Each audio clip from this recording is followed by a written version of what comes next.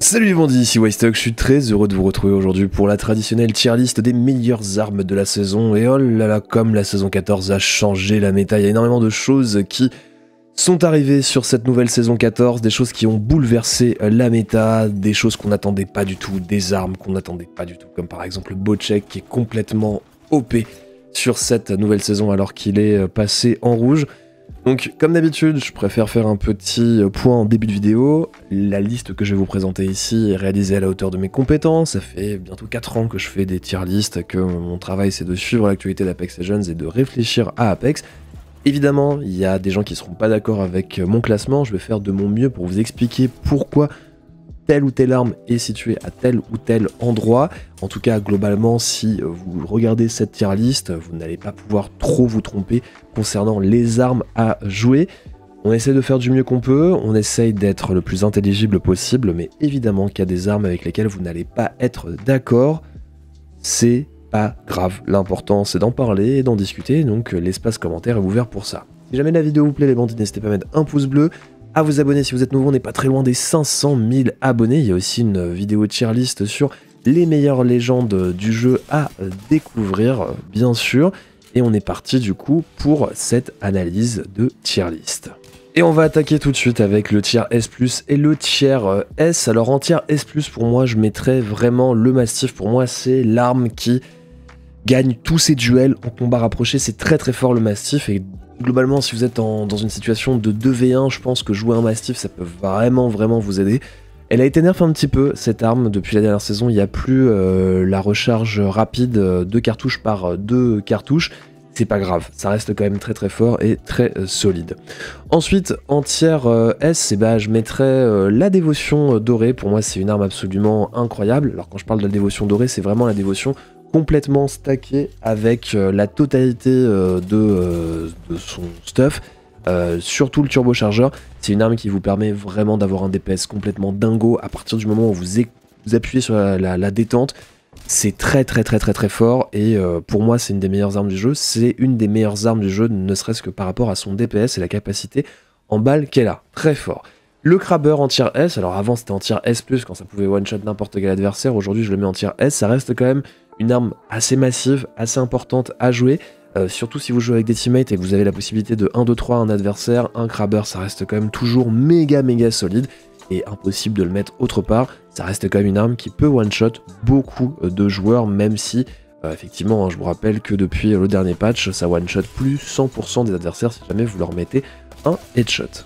Ensuite, on va aborder le tiers A+, et le tiers A, et pour le coup, eh bien, il y a le check que je mettrai clairement en tiers A+. Alors pour ceux qui en doutent, hein, je vous invite à aller checker le euh, premier passage de cette vidéo, c'est très fort le check ça a 80 cartouches, ça vous permet de spam vraiment longtemps. Euh, c'est une arme qui est assez extraordinaire, c'est super bien à avoir en euh, milieu de partie parce que ça vous permet de poke vos adversaires. Son scattershot, son tir dispersé lorsque vous n'êtes pas en mode visé est méga fort maintenant. Vraiment, vous pouvez mettre des 62 dégâts à répétition, euh, tirer sur vos adversaires, c'est monstrueux. Vraiment, je trouve que cette arme est incroyable. Alors, elle n'est pas au niveau d'un crabber ou d'un mastiff selon moi, mais elle mérite vraiment son tir supérieur. C'est vraiment super super fort. C'est avec plaisir que je joue le check. Ensuite, on a euh, la vol qui revient au sol et qui pour moi est la meilleure SMG du jeu. C'est une des SMG qui a le meilleur DPS euh, du jeu, le meilleur contrôle euh, du recul, le meilleur viseur. Vous avez la possibilité de mettre un laser, ce qui vous permet de hipfire comme des fous.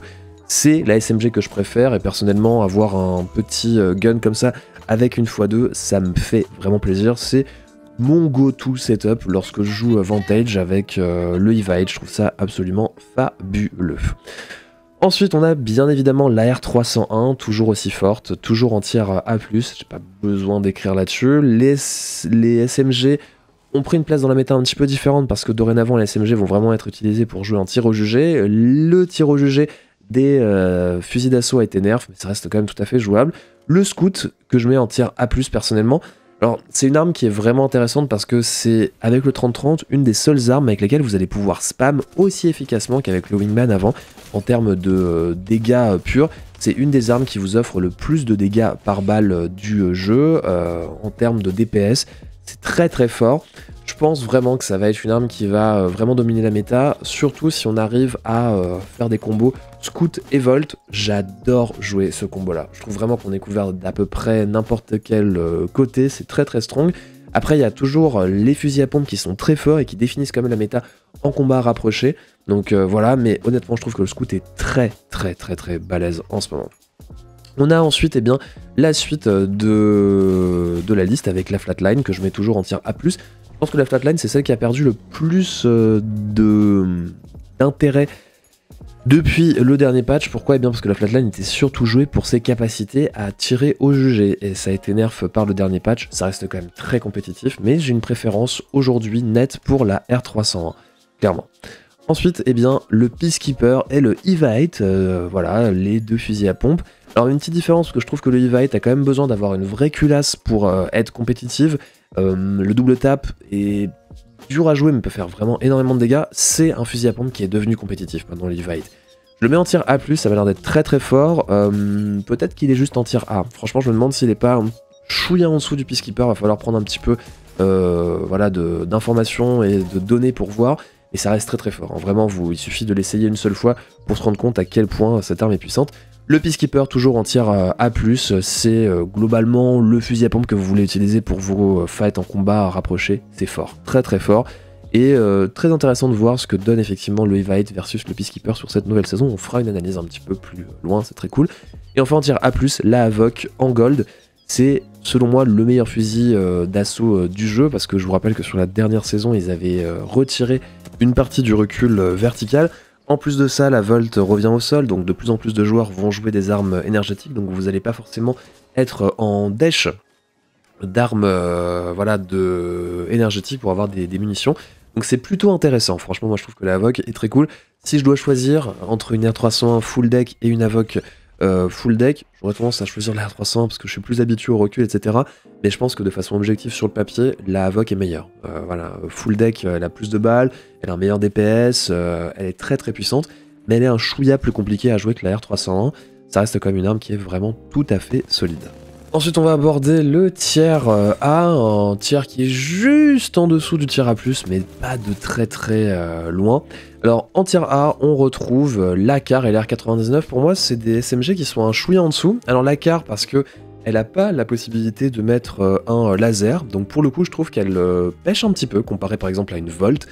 La R99 que je trouve un chouïa au-dessus de la car, pour être tout à fait honnête sur cette nouvelle saison, mais un chouïa en dessous de la Volt. C'est vraiment entre les trois l'ordre d'utilisation des SMG selon mes goûts. Ça serait vraiment Volt, R99 et car.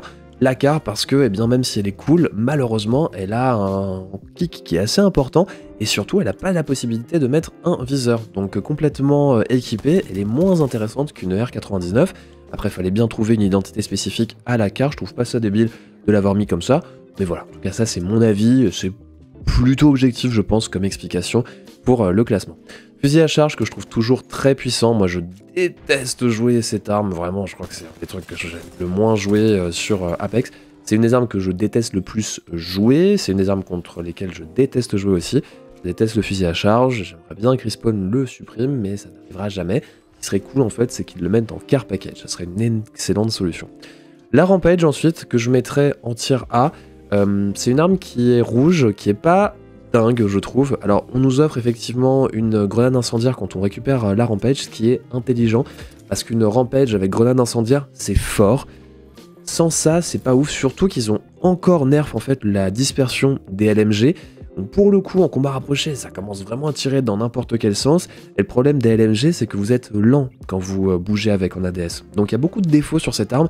Après, une rampage chargée avec une thermite, c'est monstrueux mais c'est pas spécialement une arme que je vais troquer. Par exemple, quand j'ai une R301 euh, en arme principale, euh, ça clairement c'est pas un truc que j'ai envie de faire. Ensuite, on va partir sur le tiers B+, et le tiers B. Alors, la Spitfire que je mets en tiers B+, je trouve qu'elle a pris un petit peu cher depuis son retour au sol, son passage en light, et son nerf au niveau de sa dispersion. Le gros problème, je trouve vraiment des LMG, c'est qu'elle euh, elle vous handicape beaucoup quand vous tirez avec en ADS, vous avez euh, moins de vitesse, ce qui est normal. C'est normal de ne pas pouvoir euh, se déplacer avec des armes qui sont aussi lourdes, mais je trouve qu'elles ont un intérêt un petit peu moindre, surtout que la Spitfire n'a plus de canon, elle a quand même un, pas tant un recul difficile à jouer, même si celui-ci en plus est nerf, plus une dispersion. Donc voilà, je suis moins fan qu'avant. Après, voilà, si j'ai pas le choix, j'aurais aucun problème à jouer une Spitfire. Il n'y a pas de problème, notamment quand je joue par exemple le Rampart. La que je mets en tier B+, alors j'ai hésité de la mettre en tier A, je vous avoue, la c'est une arme que je trouve être toujours puissante. Euh, c'est difficile à quantifier parce qu'en fait, il y a des scénarios où la est super intéressante. Je trouve que les armes à burst, notamment la perdent beaucoup des duels contre les armes auto. Et comme la méta tourne vachement autour bah, de la flat, de la R301, je trouve qu'on est quand même un petit peu en deçà. Par contre, pour tirer sur les adversaires mid-range, même en coup par coup, ou bien même en burst, je trouve que la a quand même beaucoup beaucoup d'avantages. Le boosted loader est intéressant dessus euh, aussi. Donc voilà, c'est pas une arme qui a énormément d'intérêt aujourd'hui par rapport aux options qui sont disponibles en tier A+, mais ça reste cool. Le Wingman que je mets en tier B+. Alors là, on va faire un petit point sur le Wingman, parce qu'il y a beaucoup de gens qui pensent que le Wingman a été buff parce que le Skull Piercer est revenu au sol. Alors oui, le Skull Piercer est revenu au sol. Personnellement, sur 25 euh, heures de jeu, j'ai trouvé un Skull Piercer peut-être 4-5 fois, et j'avais pas forcément Wingman sur moi. C'est un nerf hein, que le Wingman a pris, le fait que l'arme passe en euh, balle de snipe, ça diminue euh, l'efficacité des balles.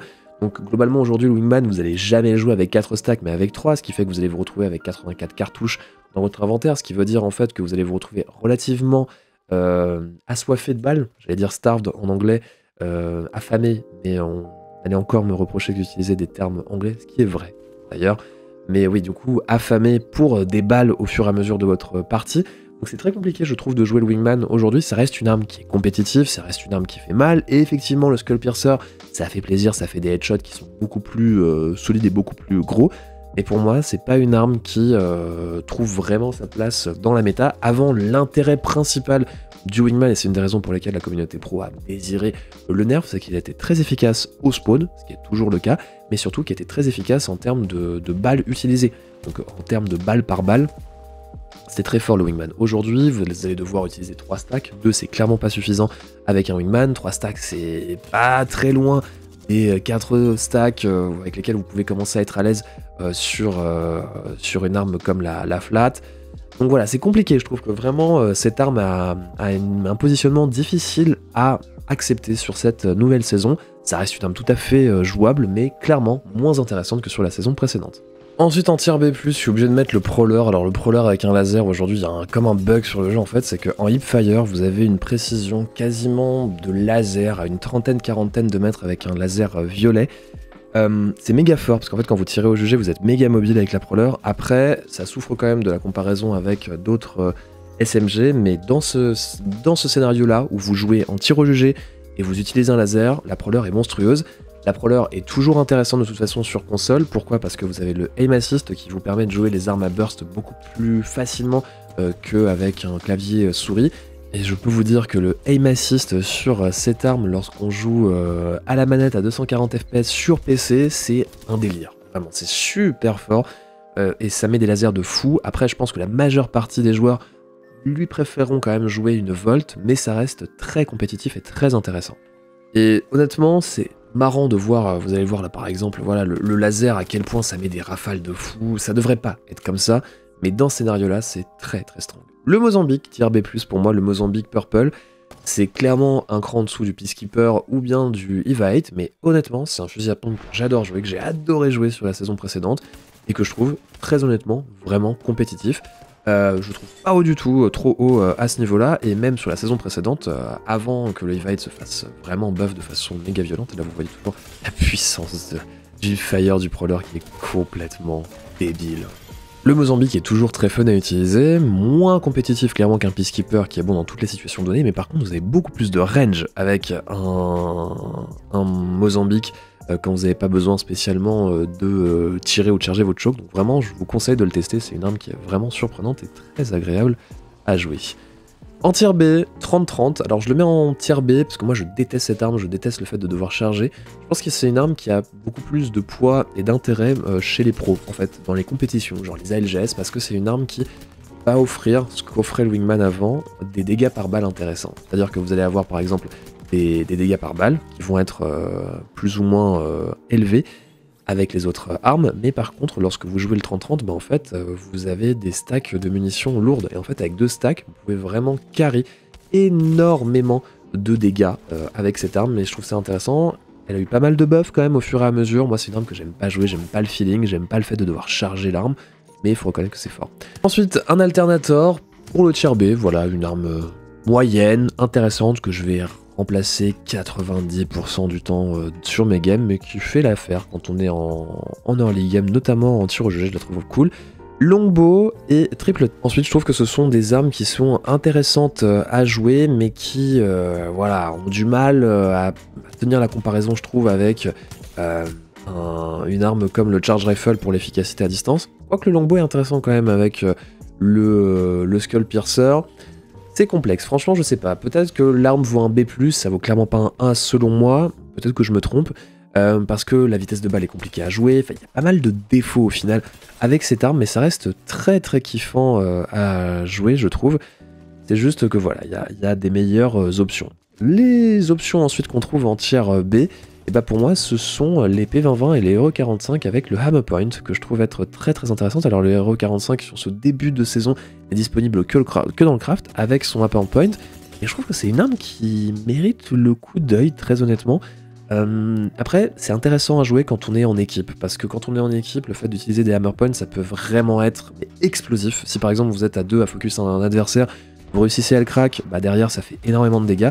Le P2020 est un chouïa en dessous euh, je trouve, du Hero 45 en termes d'intérêt de, euh, pur, ça reste quand même méga, méga intéressant. Ensuite, eh bien, on attaque le tiers C et le tiers C+, avec des trucs euh, vraiment cool. La sentinelle, et eh ouais, la sentinelle, moi j'aime beaucoup beaucoup cette arme, mais il faut reconnaître qu'en termes de puissance absolue, de gameplay, ça vaut pas un longbow, je pense, de façon absolue. En vrai, c'est juste en dessous du longbow et j'aimerais bien le mettre en tiers B-. En fait, j'aurais voulu créer une catégorie juste pour la sentinelle, pour le mettre entre, le tiers B et euh, le tiers C+. Et honnêtement, voilà, moi je trouve que la sentinelle est un peu en dessous. J'adore, moi c'est le snipe que je préfère jouer, hein, je vous le dis, mais en termes de puissance absolue, de duel, c'est quand même euh, un petit peu euh, délicat. Ensuite, on a la Vogue à la dévotion en tiers C+. Pareil, la Vogue, je la mettrai un peu au-dessus quand même de la dévo parce que le contrôle du recul est vraiment intéressant. La dévotion, que je mets du coup en tiers C+, quand elle est nue, bah ouais, parce qu'il faut quand même beaucoup de choses pour euh, faire marcher une dévo de façon intelligente. Le Mozambique, que je mettrai toujours en tiers C+, et la Hellstar que je mets en tiers C+, avec une petite étoile. C'est possible, en vrai j'ai pas assez joué, j'ai fait deux games avec, que la Hellstar soit plus intéressante qu'elle n'y paraît euh, sur cette saison, donc voilà, je mets une petite, euh, une petite réserve sur cette arme parce que elle a quand même été légèrement buff, elle a un petit peu plus d'intérêt qu'avant, le fait qu'elle surchauffe au bout de 24 balles euh, toute nue, c'est quand même plus intéressant. Honnêtement, il y a des choses à faire je pense dessus. Ensuite, eh bien, on n'a rien pour le tiers C tout court et on a en tiers D le P2020 sans surprise les amis, hein, le P2020 reste quand même un gun qui est pas méga compétitif comparé aux autres options euh, du jeu.